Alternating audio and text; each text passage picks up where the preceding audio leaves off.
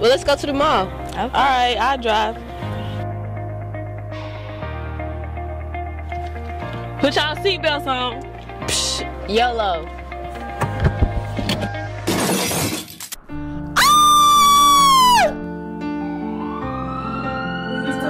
Buckle.